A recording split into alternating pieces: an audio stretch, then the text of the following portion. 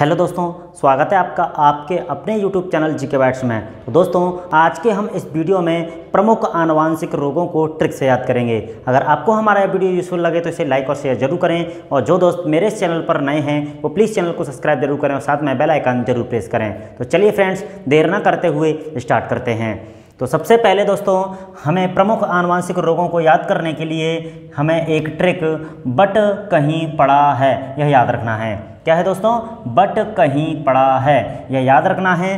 तो ब से हो जाएगा वर्णांधता, टा से हो जाएगा टर्नर सिंड्रोम, का से हो जाएगा क्लीनेफेल्टर सिंड्रोम, ही से हो जाएगा हीमोफीलिया पा से हो जाएगा पटाऊ सिंड्रोम और डा से हो जाएगा डाउन सिंड्रोम। तो दोस्तों, ये प्रमुख आनुवांशिक रोग हैं। दोस्तों दोस्तों, बा से हो जाएगा वर्णांधता वर्णांधता रोग, दोस्तों, इसमें क्या होता है दूसरा है दोस्तों, टर्नर सिंड्रोम।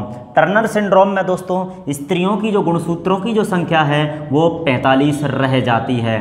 ठीक है, दोस्तों? अच्छा दोस्तों, क्लीने फेल्टर सिंड्रोम। दोस्तों, यह रोग पुरुषों का आनुवांशिक रोग है। इसमें गुणसूत्रों की संख्या दोस्तों एक ज़्यादा यानी सैंतालीस। हो जाती है। ओके दोस्तों नेक्स्ट है दोस्तों, ही से हीमोफीलिया हीमोफीलिया रोग में दोस्तों, रक्त का थक्का नहीं बनता है। और नेक्स्ट है दोस्तों, पटाऊ सिंड्रोम पटाऊ सिंड्रोम का जो रोगी होता है, उसका ऊपर का जो होट होता है दोस्तों, वो कटा या फटा होता है।